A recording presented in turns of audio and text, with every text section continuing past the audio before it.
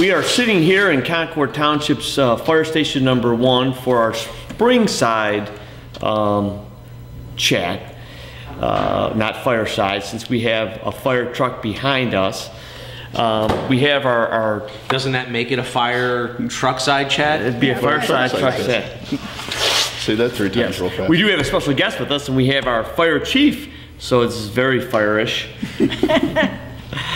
Um, Hot topic. As, as you know, we have been discussing uh, our fire stations for some time now. We've been going through uh, several studies over the last 10 or 12 years, uh, which has brought us here today where uh, we are now sitting inside our fire station number one uh, that it appears that needs to be updated uh, significantly. And so we're going to be talking to our fire chief a little bit about what's going on in the fire department, uh, some of our history, and uh, what he has uh, uh, in store for plans for the new fire station. Well, thank you all very much. I appreciate the time to address the township and, and on this important topic. Behind us is 1375. This is a new rescue pumper that we just took delivery of. Uh, we hope to have this in service uh, in time for our April 13th push-in ceremony that everybody's welcome to. Uh, that'll be at 11:30 right here in front of Fire Station Number One, and we'll be going right into uh, the op- an open house for the fire stations. Um, Just to give you a little bit of background, Concord Fire Department was established in 1948, and originally, uh, the firefighters responded out of the basement of Town Hall uh, with one truck specifically designated for grass fires. Uh, In, on October 16th of 1966, both this station and Station 2 at Prouty and 84 were dedicated, uh, and they are the stations that exist today. Uh, There's been several updates and remodels of both facilities throughout the years. Um, In uh, uh, 1966, there was approximately 25 firefighters. Uh, Today, we have over 50, uh, which includes three administrative staff, three fire prevention officers, uh, 15 full-time firefighters, and about 30 part-time firefighters, taking up the same amount of space. Uh, One of our biggest challenges is with vehicle storage. It may not come as a surprise to you that it's important for us to be able to respond to you in a timely manner. So it doesn't help us when our response vehicles are not located in this space uh, immediately adjacent to where the firefighters work and live.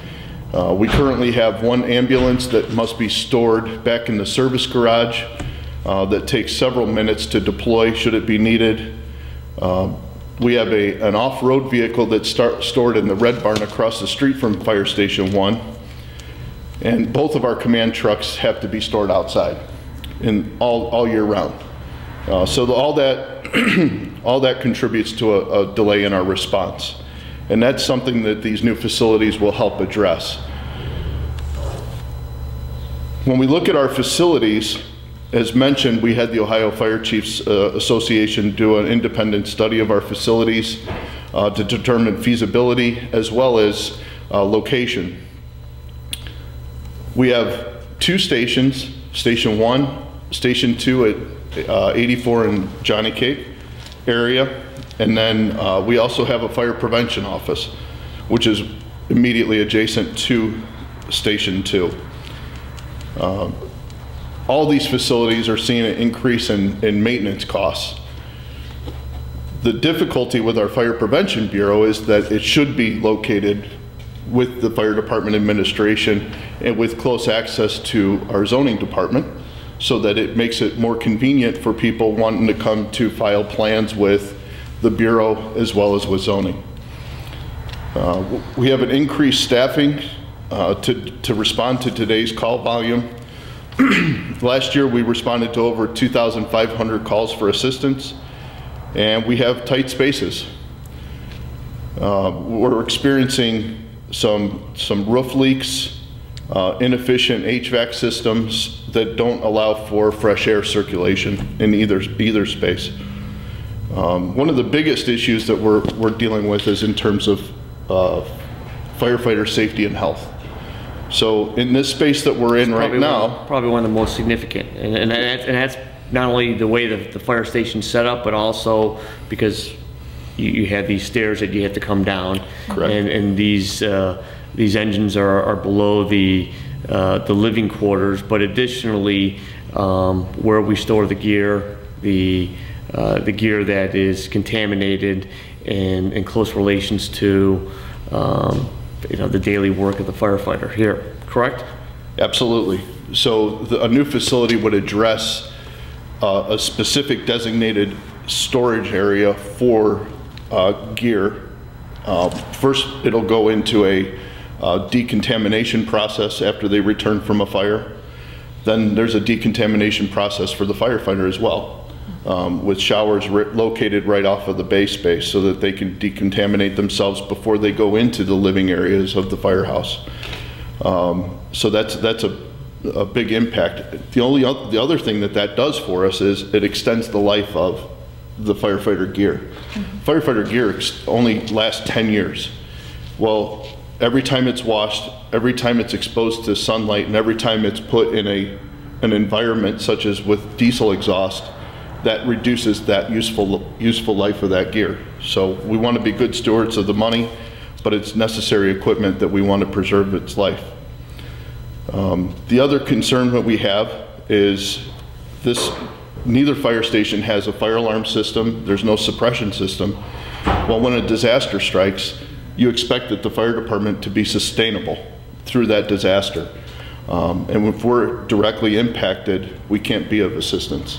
So it's important that we have a a fully functional alarm system and suppression system uh, as well as security. Security is a big issue. Um, As I mentioned um, earlier today, um, you know, we're looking at getting ballistic vests for our firefighters, and this is, uh, our our facilities are are just as important to secure as well. Um, A lot of our documents are currently stored off-site in an unprotected building um, that's got quite a bit of, I mean, it's, it's a barn for, for lack of a better term, of storage. So that's a, that's a concern for us. As well as there's no space for spare fire hose or fire, fire gear or firefighting tools, stuff like that, that takes up space. But we are happy, the firefighters here do a very, very good job at taking care of the space that we do have. And if we're, if we're blessed with a new, a new facility, we'll have that, we'll have that same attitude. Um, A lot of the programs that the fire department offers, including child safety seat inspections and installations, first aid and CPR trainings, smoke alarm programs, fire education, residential lockbox programs, uh, home inspections, all of these programs are offered to the community at, at little or no cost, but they all take up space. Um, So we need to make sure that we can accommodate those programs in the future. Uh, Right now, we hold a lot of our programs off-site because we don't have a safe place for, to hold them on, in the fire station. Um, So we have to take advantage of some other opportunities for, for holding those courses. Um, Chief, lot- Go ahead. Chief- Chief, uh, for residents that want to come and look at the existing facilities, uh, do you suggest they make a- an appointment with you, or they call a certain person to make an appointment to take a look at the facilities as they stand now?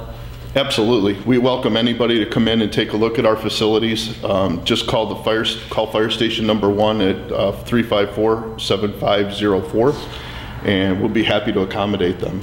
And I think it's important that this is why there will be the open house on April 13th, um, to give the public an opportunity to come in, review the facilities as they currently exist, um, both uh, from a uh, operational standpoint and, you know, frankly, from an inadequacy standpoint.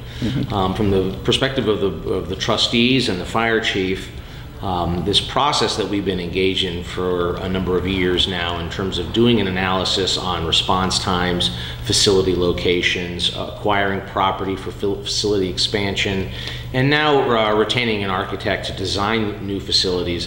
If we're going to ask the public to join us in this investment, and, and make no mistake, this is an investment um, a 70 to 75 year investment for Concord Township um, in terms of emergency services and the services that are provided to our residents.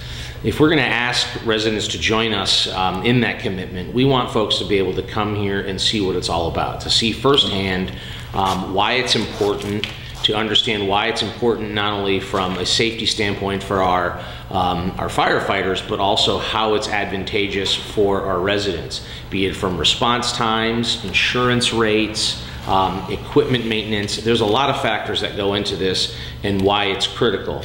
Um, Concord Township is becoming a very mature community. Um, the 2020 census, you know, estimates are that we'll be around 20,000 residents, and um, that makes us actually the largest township um, in the seven county area here in Northeast Ohio. And um, making sure that we have adequate facilities and and properly um, executed services is very important to this board. And so we really do encourage folks to ask questions, inquire with us, inquire with the chief, come out on April 13th, take a look at the, the facilities, and um, you know join us in this process.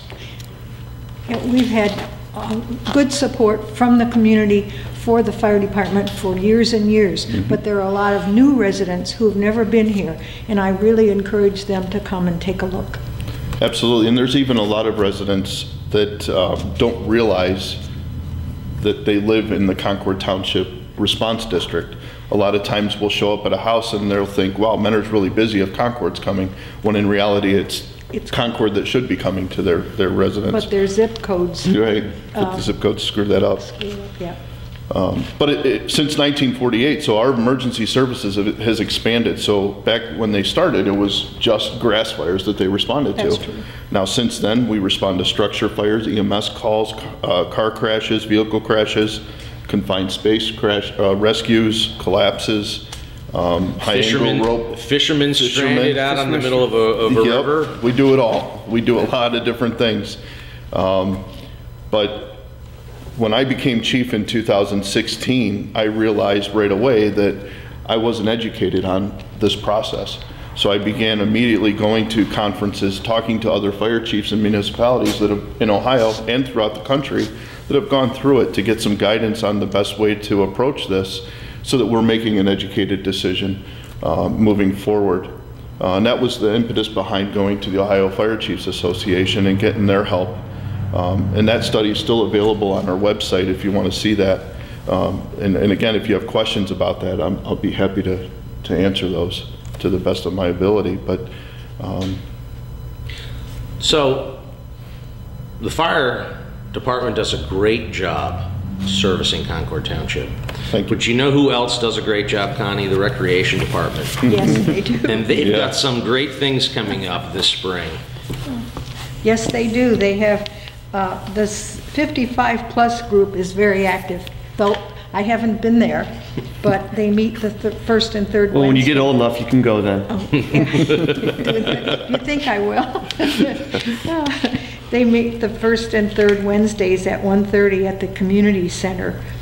And uh, they have a lot of fun. Bingo, high tea on Mother's Day, paint and punch, and uh, commemoration of the anniversary of D-Day. That will be exciting Well- That in will. June, absolutely.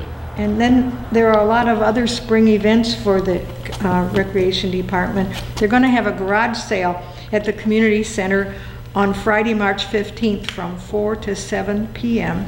and on Saturday, March 1st, oh, March March 16th. 16th, I'm sorry, from 8 till noon, with free admission and free refreshments. So come and see what they have for sale. Easter egg hunt and the rescue pumper um, push-in ceremony that you've talked about. And then the summer concert series begins June 20th. And uh, Concord Community Day is Saturday, August 10th. I think that'll be great because we'll have a parade and live music, Kids World, food trucks, craft beer, and wine tastings, and fireworks. So that'll be a really great day.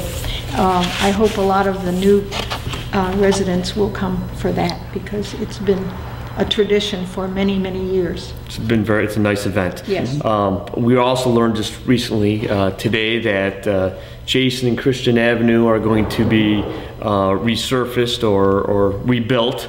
Uh, that process is going to start April 15th. It should be a, a 91 day, not 90 days, but a 91 day uh, process, and that should be done prior to uh, Concord Community Days. So it should be done sometime the 1st of uh, August, and uh, so that that Far Hill subdivision should be free for uh, the parade um, to, to return there. Uh, the other road programs, uh, we will have the service department's going to be doing a lot of um, uh, full depth repair inside the Quail Hollow subdivision. The asphalt repair program uh, we are still working on. It looks like we're going to do that in conjunction with Painesville Township this year.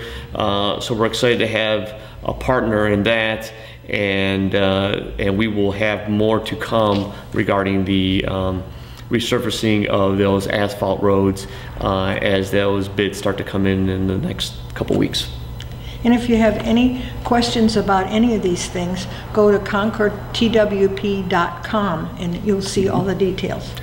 Well, I have a question about the push-in because uh, how does that quite work? This does not have an engine in it yet, or Yeah, yeah, well, it does have It an seems engine. fairly heavy for us Yeah. to be pushing this. So. Yeah, it'll actually be under power. We can't do it like they did um, a couple hundred years ago when, when the horses brought the, the fire pumper back, they would unhook the horses and then they would have to manually back the pumper in, um, into the bay, uh, or into the barn as it was called back then. Um, So it will be under power and, and the firefighters will be guiding it in.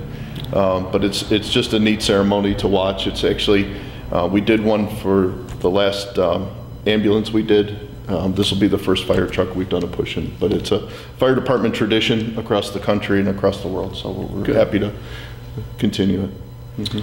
And I would um, add to what Connie said, um, always remember that you can uh, reach any of us um, trustees at trustees at concordtwp.com with an email.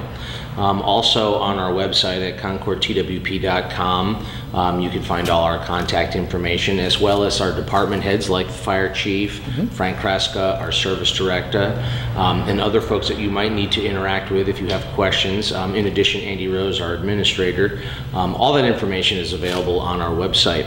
One last thing to point out, um, if you have a smartphone, and I know most of you do, um, there is now a Concord Township app.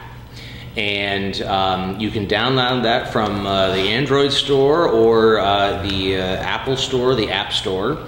And um, on it contains uh, traffic information, contact information on various departments, community calendar, uh, Concord Township News. Um, This has been recently um, uh, released, and we continue to update it like any app, adding, making it more and more robust, and we will continue to do so um, as we move forward. But uh, it's an opportunity for you to be able to put Concord Township right in, right in the palm of your hand.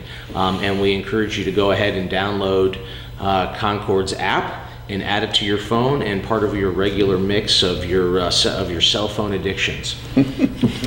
So as we move out of the winter and enter spring, um, we want to just, uh, you know, stay with you. And, and if you have any questions, concerns, give us a call, contact us. Um, and please come out, see our fire stations, come out and see us at our, our town hall meetings. Um, thank you.